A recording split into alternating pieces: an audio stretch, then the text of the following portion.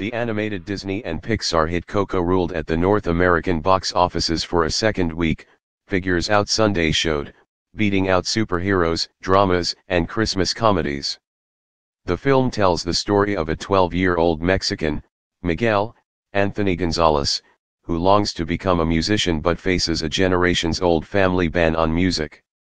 It netted an estimated $26 million for the three-day weekend and $109 million since it opened over the Thanksgiving Day holiday, exhibitor relations said.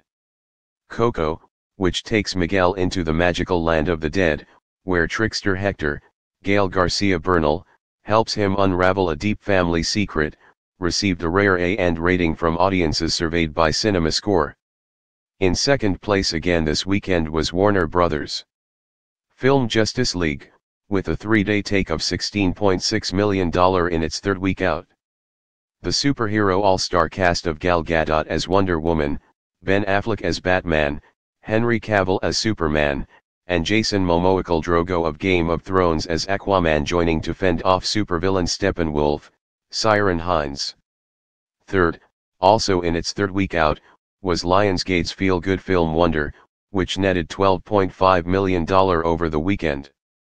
The movie, starring Julia Roberts, Owen Wilson, and Jacob Tremblay, tells the story of a fifth grade boy with a facial deformity who must deal with other children's shock and bullying when he first attends a mainstream school.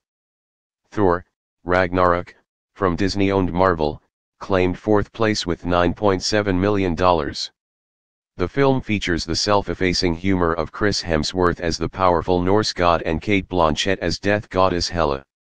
Thor has netted $291.4 million since its debut five weeks ago. In fifth place was the Christmas comedy Daddy's Home 2 from Paramount, netting $4.5 million over the weekend. It stars Will Ferrell and Mark Wahlberg as the less than competent co-parents of Wahlberg's kids as they cope with their own visiting fathers, John Lithgow and Mel Gibson. The movie has netted $88 million since its debut four weeks ago.